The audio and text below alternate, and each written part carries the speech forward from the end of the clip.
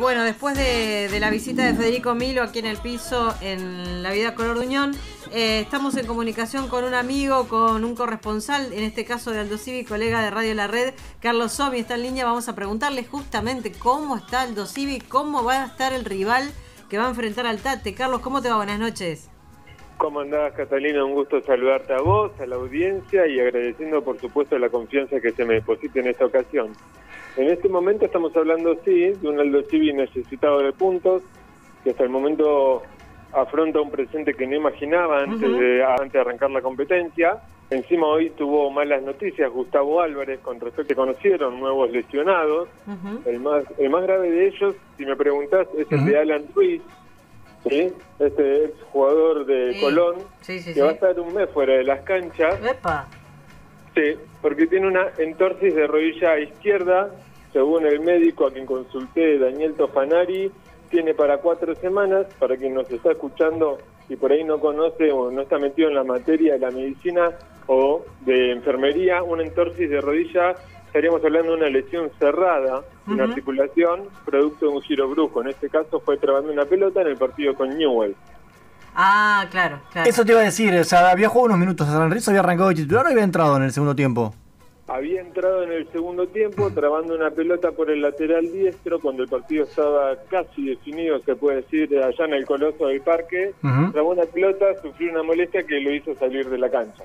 Eh, y, y futbolística, no, perdón, no futbolísticamente, sino anímicamente, ¿cómo, ¿cómo llega al plantel? Tiene cinco puntos igual que Unión, pero con, eh, con la tabla de promedios también complicada, porque suman los de abajo, hay muchos equipos metidos.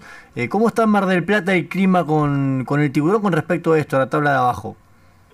Mira, el clima es el lógico y esperable cuando las cosas no andan saliendo. Obviamente mentiría si dijera que es el mejor, pero lejos está de ser un clima tenso.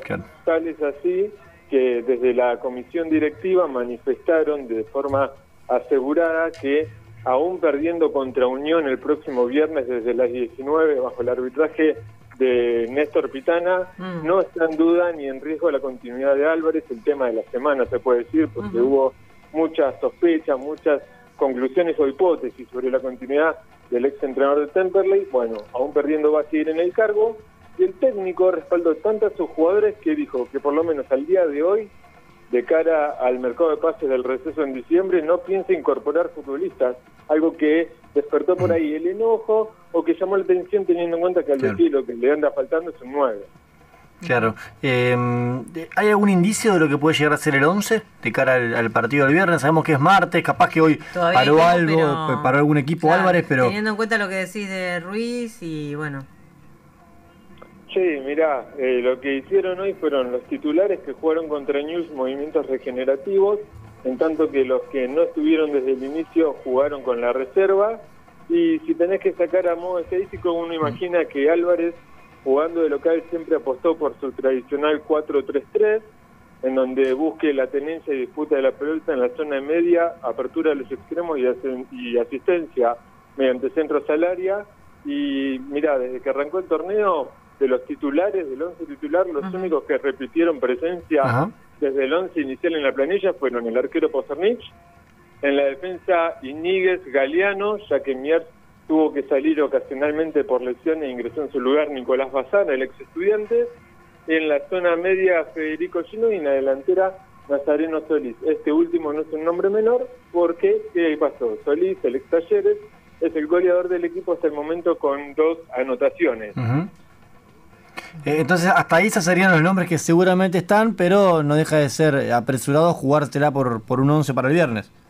Todo es modificable, todo puede cambiar de acá al viernes, obviamente es muy temprano aún para decirlo, pero son los que, los que tienen grandes chances de entrar. Hay que agregar a esto eh, que hoy Hernán Burbano también se retiró de la práctica antes del tiempo por una molestia en la pantorrilla derecha, está en tratamiento y Luciano Pozernich, el arquero, sintió un dolor en el muslo derecho, motivo por el cual se entrenó de forma diferenciada, pero hablando con el médico, que hace instantes hacía mención, Daniel Tofanari, dijo que fueron mínimos, que no corre riesgo su presencia el próximo partido. Hay que decir también que lo que busca Aldo Civi es enfrentar a un rival no menor, porque nunca le ganó en Mar del Plata a Unión de Santa Fe. Eso es algo que indica la importancia o resalta la importancia de este match porque tuvo un empate y dos derrotas. Tres veces se enfrentaron aquí en la única victoria en el historial del 2000 contra Unión fue por la liguilla pre-sudamericana en 2015. Carlos, eh, muchísimas gracias. Eh. Seguramente vamos a, tener varios contactos con vos y te agradecemos muchísimo la buena onda. No, por favor, estoy a su completa disposición y si querés que te agregue un dato más, los próximos rivales del Civis, sábado 5 de octubre a las 20, visitando a Racing, domingo 20 de octubre 13-15 recibe a Defensa y Justicia. Un abrazo grande.